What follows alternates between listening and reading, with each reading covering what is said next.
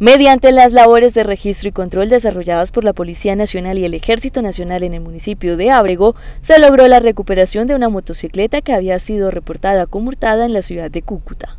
En articulación con el Ejército Nacional se tiene la captura y la recuperación de una motocicleta que había sido hurtada en la ciudad de Cúcuta.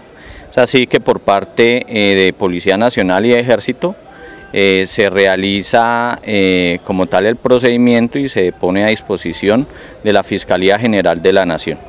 Asimismo, en el municipio de Ocaña se logró la captura de una mujer por el delito de hurto. Esto se realiza en, en la ciudad de la Norte, exactamente en el barrio Santa Clara.